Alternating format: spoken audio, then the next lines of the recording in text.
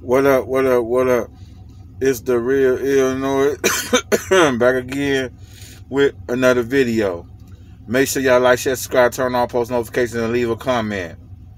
Well, today I just want to touch on a few things real fast. Um, well, not a few things. I just want to enlighten people. Listen, no matter what you're going through, no matter how it seems, a lot of stuff can't be explained, but there is a God that can make everything better and make everything all right, even when clouds are gray. You know what I'm saying? So don't let it get to you. Pray about it. You know what I'm saying? Ask God for understanding. A lot of times people ask God why this happened, this and all this stuff. Just ask him for understanding. And be meek and humble yourself even before you start praying.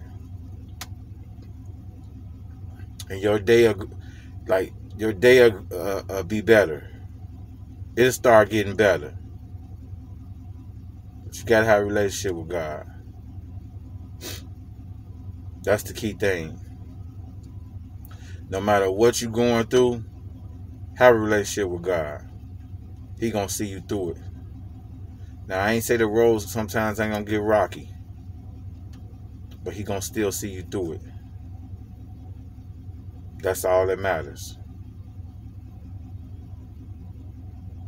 You know, it's like I said, I've been saying it lately, the holidays are coming up and a lot of people got mixed emotions. Be there for somebody. Call somebody. You might have a grudge with a family member or even a friend. Call them and tell them you forgive them. Yeah. Be at peace with that stuff.